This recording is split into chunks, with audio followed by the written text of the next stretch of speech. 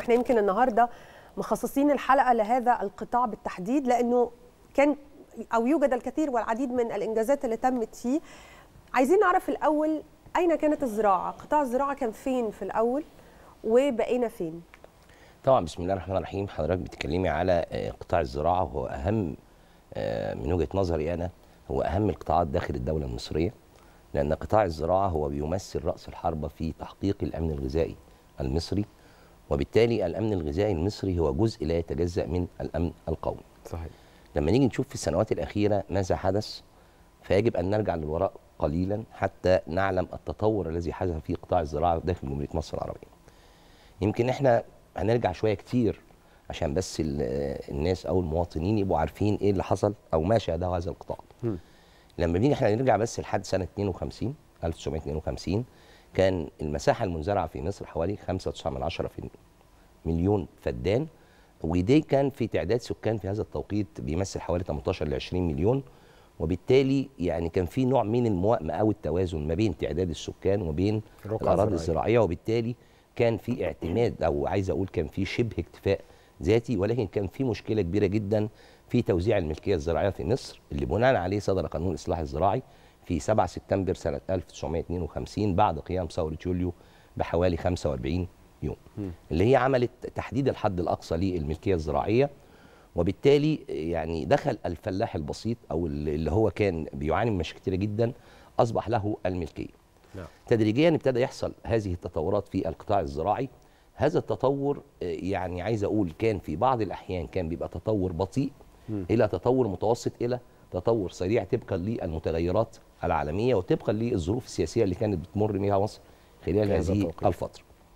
بعد ذلك هنيجي في فترة الثمانينات هنلاقي إن حصل طفرة بردك في الزراعة عن طريق آه، استنباط أنواع وس- وسلالات جديدة من سواء من القمح أو الرز إلى أن وصلنا إن مصر كانت أعلى إنتاجية في إنتاج ال- الفدان من القمح على مستوى العالم.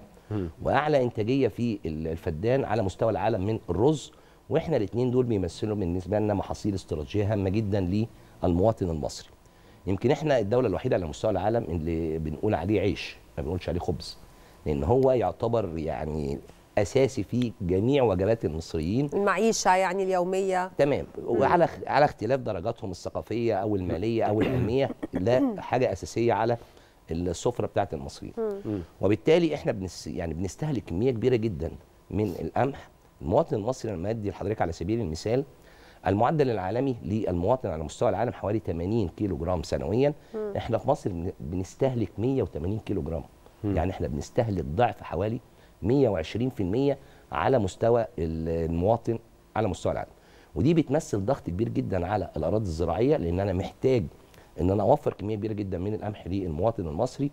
وأنا عندي حاجة اسمها التنافسية في الزراعة. يعني ما أقدرش أزرع الأرض كلها بمحصول واحد. نعم. ده بيعمل لي مشكلة. استمر هذا الموضوع هنيجي مثلا من سنة 84 كان بتواجهنا مشكلة كبيرة جدا ويمكن المشكلة دي تفاقمت بصورة كبيرة جدا لحد 2014 2015 هنلاحظ إن التعدي على الأراضي الزراعية بلغ يعني عايز أقول لحضراتكم حوالي 1.2 من عشرة مليون فدان من أجود الأراضي الزراعية. تعدي تماما وتحولت هذه الأراضي الزراعية الخضراء إلى كتل خرسانية وده أثر معانا بصورة كبيرة جدا.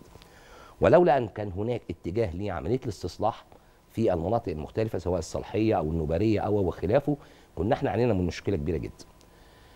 لما نيجي بعد كده ابتدت الدولة تنظر نظرة شاملة وعامة لهذا القطاع لأن طبعا إحنا دائما ما نقول أن مصر دولة زراعية. نعم. يعني دايما إحنا بنتكلم كده حتى بيعلمونا وإحنا أطفال في التاريخ أن مصر دولة زراعية. وأن الحضارة المصرية اللي العالم كله بيحتار في تفسيرها حتى الآن لم تكن تكون موجودة إن لم يكن هناك زراعة لأن الزراعة معناها استقرار. صحيح من لا يملك اتجاه- قوته لا يملك قراره. نعم. وبالتالي الدولة المصرية كان ليها العديد من الاتجاهات. أنا عندي مشكلة كبيرة جدا ألا وهي محدودية الأرض ومحدودية المياه.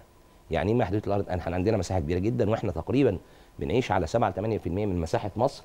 ولكن عندي أراضي كثيرة جدا غير صالحة للزراعة مش عشان لأن هي غير صالحة لأن ما عنديش المصدر الأساسي للزراعة اللي هو الحياة اللي هو المية وبالتالي أنا عندي مشكلة ويمكن عندي طبعا بالنسبة لي كمية المية يمكن أنا عندي عجز في الاحتياجات المائيه المصرية يعني بيوصل حوالي آه، 40 مليار متر مكعب سنويا عندي عجز عندي مشكلة في هذا الموضوع. نعم. وبالتالي إزاي أمام هذه المشاكل المستفحلة إزاي أحل هذا الموضوع؟ فكان اتجاه الدولة على العديد من الاتجاهات. الاتجاه الأولاني هو التوسع الرأسي. التوسع الرأسي اللي هي زيادة المساحة المنزرعة وده يعني بان جدا في المشاريع العملاقة اللي أطلقها فخامة الرئيس اللي ابتدت بمشروع مستقبل مصر اللي كان حوالي 500 ألف فدان تم استصلاح ومتوقع عليه إنه يوصل حوالي واحد ونص أو 2 مليون فدان في عملية الإصلاح. كان في حوالي 300 ألف فدان في سينا. إحنا بنتكلم في حوالي أكبر تاني مشروع زراعي يمكن في مصر اللي هو شرق العوينات على حوالي 300 400 ألف فدان. ومتوقع إن إحنا نعمل حوالي استصلاح لحوالي 16 ألف كيلو متر وده تاني مشروع أكبر, أكبر مشروع زراعي في مصر.